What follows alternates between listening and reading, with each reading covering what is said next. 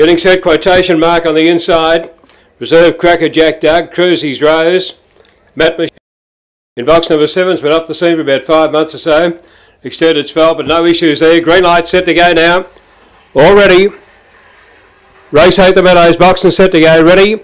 Racing quotation mark on the inside again fairly well. Victor Dora showing good speed. So is Cruisy's Rose out in the centre. Just behind them then came Matt Machine as they turn to the back straight. Over on the inside, quotation mark joined by Victor Dora. Two lengths away then came Cruisy's Rose followed by Glenda Kingy. A length and a half away then came Lock Freddy about three further back then Matt Machine. They were followed second last off the back by Cracker Jack Doug and Rig 55 at the tail. On the turn, quotation mark drove up on the inside again. Over on the outside, Victor Dora takes the lead though and Victor Dora came away at the end of each quotation mark and it's close for third. Lock Freddy and Glenda Kingy. They were followed behind them then by Matt Machine and then came Rig 55. Cracker Jack Doug and the time is around 30 and 29.